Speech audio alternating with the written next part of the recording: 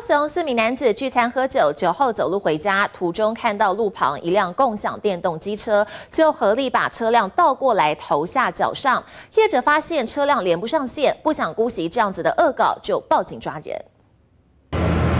大半夜，四名男子围在共享电动机车旁，不是要骑车进，无聊当有趣。只见四人先把机车放倒，再合力把车子上下颠倒，自以为留下完美杰作，随后拍拍屁股走人。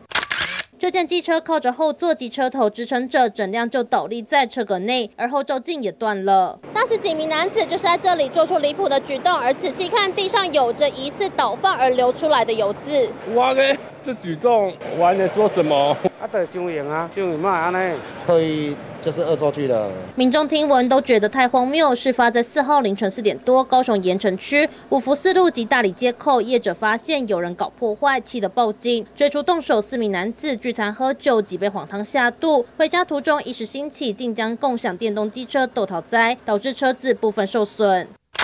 共享电动机车业者发出声明，会要求赔偿后续损失。目前有三名犯嫌已经到案说明，还有一名共犯查缉中。犯嫌表示纯粹好玩，恶作剧，全案将依涉嫌毁损罪侦办。恶作剧过了头，玩到没得玩就得付出代价。其中最无辜的，恐怕还是好端端停在路边的共享电动机车。记者陈宇、王超璇高雄采访报道。